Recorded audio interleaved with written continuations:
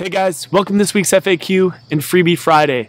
Now before we begin, if you're new to this channel, these videos are all about answering your health related questions.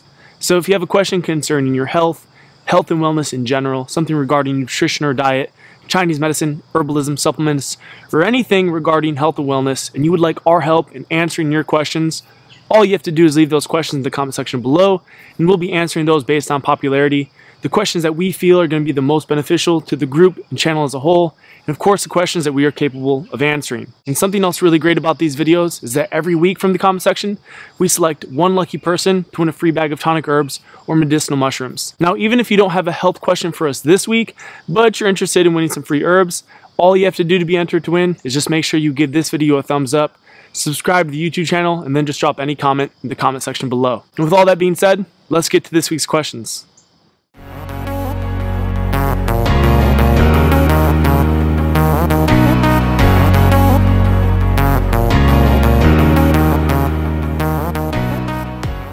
All right, so taking a look at our first question, there's actually two questions here from this person. I'm gonna quickly answer both of those. So this question reads, Hi Nick, I have two questions. Number one, why does my body look more bloated after weightlifting and what can I do about it? Number two, is it beneficial to take yin promoting herbs after a training session? Thank you. Okay, so answering these questions in numerical order. Looking at the first question, why is it that your body looks more bloated after exercise? The thing that comes to mind for me is water retention or edema, so an overall puffiness in the body.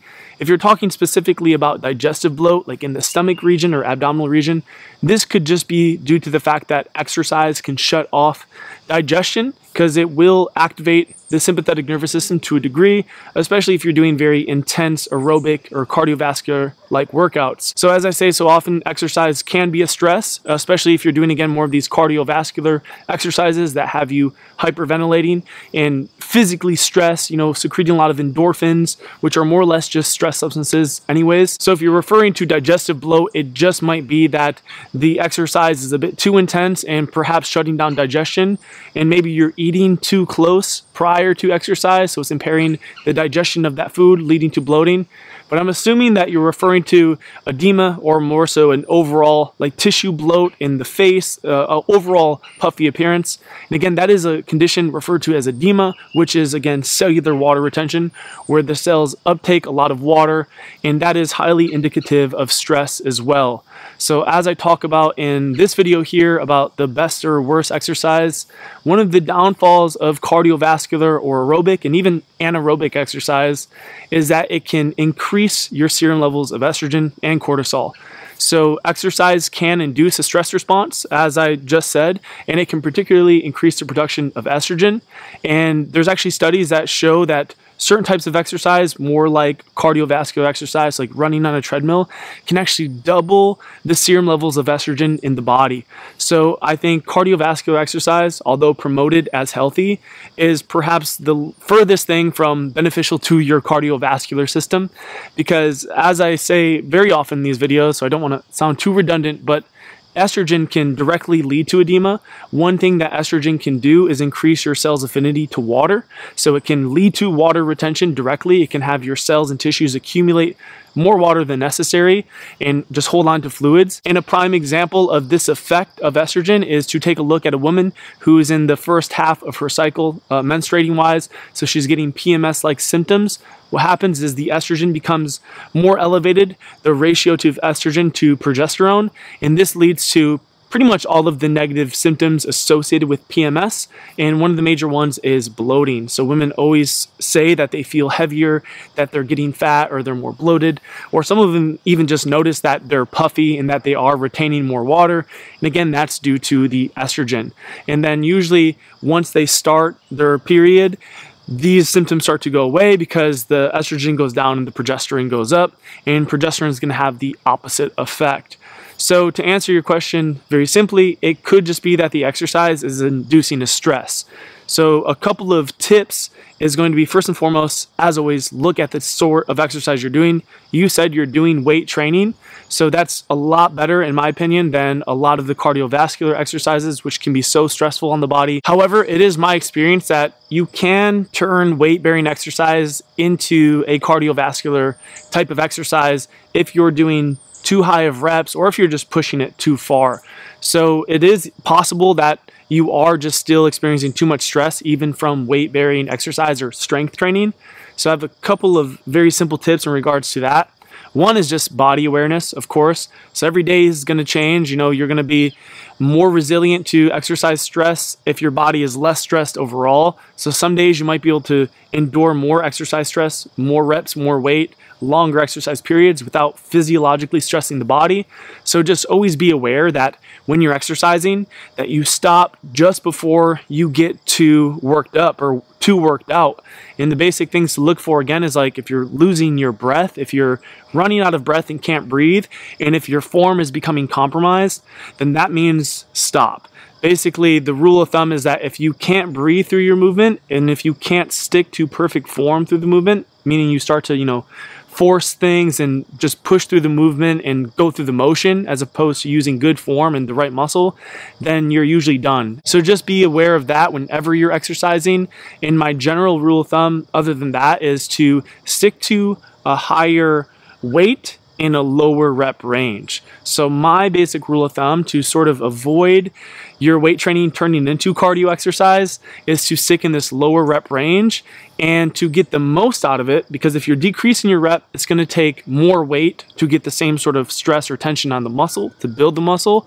So what you're going to want to do is lower the rep range, but then increase the weight in proportion to your ability. So still sticking to good form. Use as much weight as possible without compromising your form. So it just might be 10 or 15 pounds more than what you normally do. But the point of this is to just reduce the likelihood of turning your weight bearing exercise into cardiovascular exercise and going into this hyperventilated state which would imply or indicate that you are probably stressing the body to the point of secreting too much stress hormone. And the goal of exercise is to increase the amount of the androgen hormones, build up testosterone while keeping the stress to a minimum. So it's a game of balance and it's a delicate balance that's very easy to tip if you're not aware of these things. So I think that's some simple things that you can do, but sort of moving into your next question, could it be beneficial to take yin herbs? And for those of you that don't know what a yin herb is, this is generally a Chinese herb or class of Chinese herbs that usually act more like adaptogens. They usually support the adrenal and kidney system. They're responsible for the movement of fluid throughout the body. They have more cooling properties and they're more about bringing in the internal homeostasis so that way you have the energy for external like outward motivation or movement which is usually referred to as the yang aspects of the body and nature. So when I think about what the various yin herbs do in the body, they're ultimately anti-stress herbs. A lot of them are at least. You know, when I think of herbs like Ho Shou Wu and even cordyceps, I'd consider both a yin and yang jing tonic. Uh, these are herbs that are ultimately proven to have anti-stress effects and they're usually particularly beneficial for reducing stress overall. And considering that exercise can be a stress I would say that they're definitely worth experimenting with. If you're not already I usually recommend to most athletes to try supplementing with a combination of cordyceps and the KSM 66 ashwagandha for reducing the various uh, stress specifically for reducing the production of stress hormones while increasing the production of adaptive hormones. So those are two fantastic herbs to supplement with, but you could also throw in some other yin herbs to see if that helps you. Because the last thing I was just going to comment on is that even if you're doing exercise, weight bearing exercise, and you're keeping it very non stressful, if it's inducing a stress response for you, it's very possible that you just have low thyroid function and your body's not coping with any form of strenuous exercise or stress very well at all. So I would focus on getting the thyroid into good shape. I used to bodybuild for years. I was a wrestler and a football player at a young age, and I pretty much exercised from the age of 10 to the age of 23 and about ages 19 to 23 I was intensely working out as bodybuilding. Before that I did a lot of cardio. And so exercising was a huge part of my life. But when I got hit with really bad hypothyroidism and chronic fatigue and all that stuff I didn't work out for years for like four or five years. All I did was walk. I'd literally just go in nature and I would walk. That was my only exercise. And I think it's probably the healthiest form of exercise. But of course, if you're somebody that's trying to put on lean muscle mass, for me, exercising always had the appeal because I was a naturally leaner person.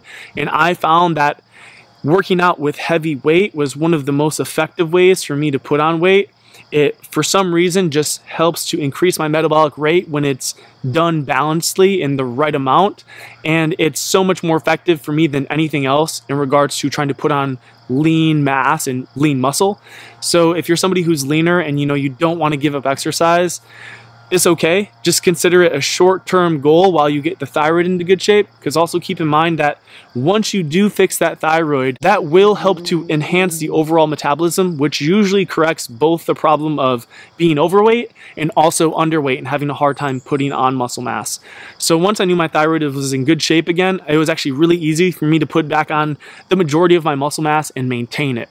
So even if you have to take some time off, just keep in mind that it's not forever. But also if you do want to work out because you enjoy it. I'm definitely not telling you to stop. It's just something to consider. All right, so moving along, getting to our second question. This is an interesting one because they're asking about the potential negative effects of ashwagandha, which is an herb that we highly recommend often on the YouTube channel because it is so well-rounded and corrects so many of the health imbalances that people are suffering with today.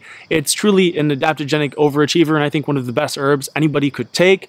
However, she brings up an interesting point. And so her question reads, I would like to see something about the possible negative side effects of ashwagandha and who should not take it in addition to symptoms of low cortisol. So there's a couple interesting things about the question. The first thing that stands out to me is possible too low of cortisol. I think that this is a huge misconception, a big conspiracy almost in the health and wellness world because of the idea of adrenal fatigue. So, so many people are being told that they have too low a cortisol. The reason that their immune system's low and that they have low energy is because they don't have enough of this hormone cortisol, which is going to act as an anti inflammatory and it's going to have all these beneficial things and it's going to basically kick on the adrenals a little bit, just enough to get working. But the fact of the matter is, you do not need to be secreting much of any cortisol at all if you're truly healthy.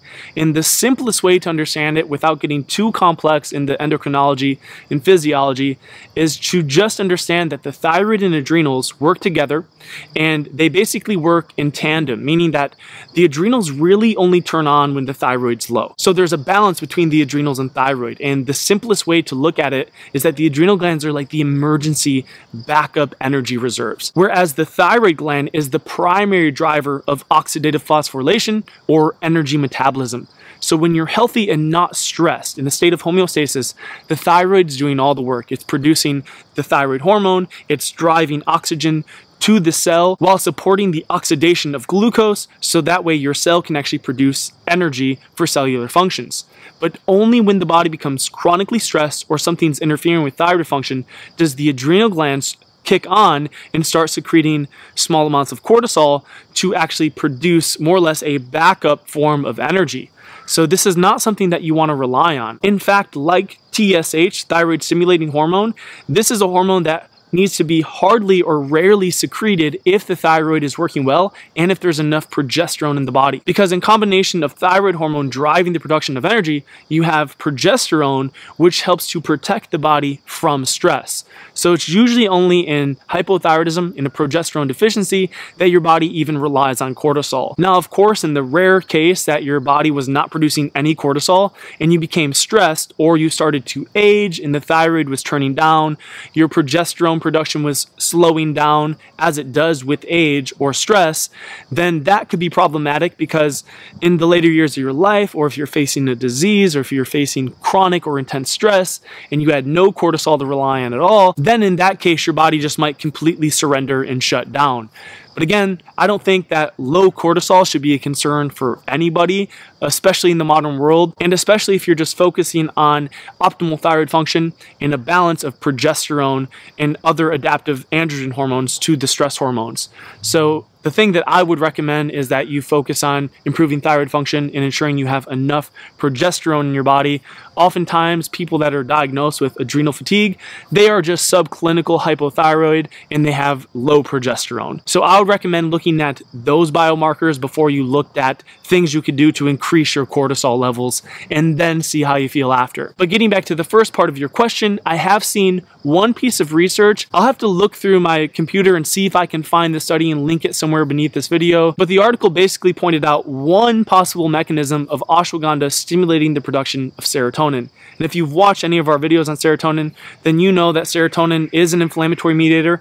It generally slows down the metabolic rate. It can stimulate the production of cortisol and is not something that you want to be producing chronically. Now, the one thing I'm not entirely sure of is whether or not it's all ashwagandha that can have this effect or if it's unprocessed raw ashwagandha powder, or if it's a certain alcoholic extraction, because there is the KSM 66 ashwagandha that we talk about a lot, which is a patented blend. Not only is it the most pure, meaning it's going to have no toxic solvents in it and other harsh chemicals that might be contaminated by the extraction process. So it's very pure. It's usually organic when you find it, but it also has the highest active form of withanolides. And from what I know, usually most substances that increase one stress substance increases the rest of them. And since ashwagandha, the KSM 66 ashwagandha, is proven to lower cortisol upwards to 20 some percent, lower prolactin, increase progesterone, increase testosterone, for me that shows it has mostly a very pro-metabolic effect. It's very health promoting. And if it increased serotonin in any way, that for me would be a little bit contradictory. So it is possible that it's just the studies that found that out were using either like a raw, unprocessed ashwagandha or even a ashwagandha that was processed with a toxic chemical solvent. That could definitely be a cause for some sort of inflammatory or negative reaction. This is actually incredibly more common than you think in the industrial food system and all of the industrialized supplements and herbs. A lot of the times, something as simple as like orange juice, for example, a pulp-free orange juice, what they do to get the pulp out of it is they don't mass strain it. They actually throw an enzyme into the orange juice to dissolve the pulp. And it's been found that that enzyme is incredibly allergenic to most people. So what's really interesting here is you got to pay attention to the processing. And this is one of the major reasons that industrialized foods and herbs and supplements can be so difficult to navigate your way through, especially if you're trying to eat an optimally healthy diet. Because something as pure and healthy as organic cold pressed orange juice, if it's been processed with this enzyme to dissolve the pulp, it might be allergenic to you. So I don't know if that's the case. I'm just speculating that it could be the case for increasing serotonin because serotonin is going to go up usually when the gut is irritated or aggravated. 90% of the serotonin is produced in the intestinal tract. So usually if something's increasing serotonin, it's very likely that it's irritating your intestines. And for me, that's a huge red flag and an indicator that perhaps the oral ingestion of that ashwagandha was irritating to the gut. And a lot of herbs can be gut irritating and cause adverse effects in this way. So that's why I think it's so important to get properly extracted herbs and make sure that they're free of any other additives and solvents and weird harsh chemicals. So honestly, to answer your question, there's not really too many negative side effects I've ever seen associated with ashwagandha, especially taking something as pure and clean as the KSM 66. And again, most things that are increasing serotonin are usually things that are just irritating your gut. And again, you can usually avoid that issue by getting a extract that is pure with no harsh gut irritating solvents or other added chemicals. However, if you are concerned at all about a possible serotogenic effect of ashwagandha, I usually just recommend to people to supplement it with something like ginkgo biloba, which has an anti-serotonin and anti-nitric oxide effect, and that could counter any possible serotogenic effects of the ashwagandha. But again, it's probably not something to be too concerned about. All right, guys, that brings this week's FAQ and Freebie Friday to a close. If you've enjoyed it and found it helpful, be sure to give it a thumbs up. Subscribe to the YouTube channel if you are new here. Otherwise, for learning more beyond this YouTube channel, be sure to check out our blog, online tonic herb shop, and wellness academy all which you can find in the description box below.